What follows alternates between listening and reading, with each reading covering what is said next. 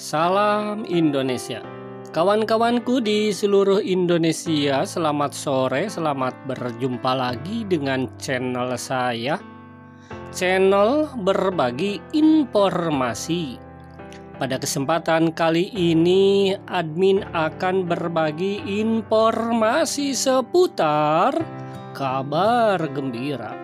Kabar yang ditunggu-tunggu. Ada informasi terbaru dari Kemensos. Besok Senin, bantuan pangan non-tunai cair semuanya. Cair bisa dalam bentuk uang tunai.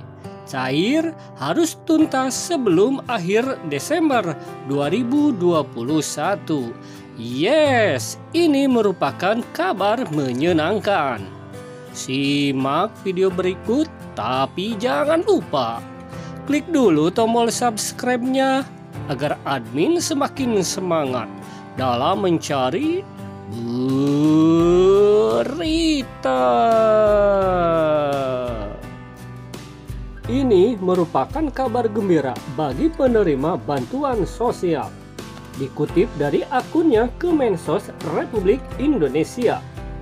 Menteri Sosial Tri Risma hari ini meminta para pihak terkait mempercepat pencairan bantuan sosial kepada penerima manfaat untuk bantuan pangan non-tunai atau BPNT, program sembako bisa dicairkan dalam bentuk uang tunai. Admin ulangi, bisa dicairkan dalam bentuk uang tunai.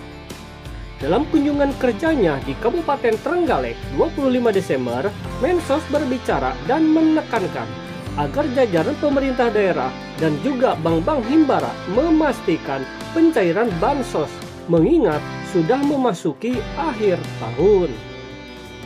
Saya meminta pencairan dipercepat. Ini sudah akhir tahun.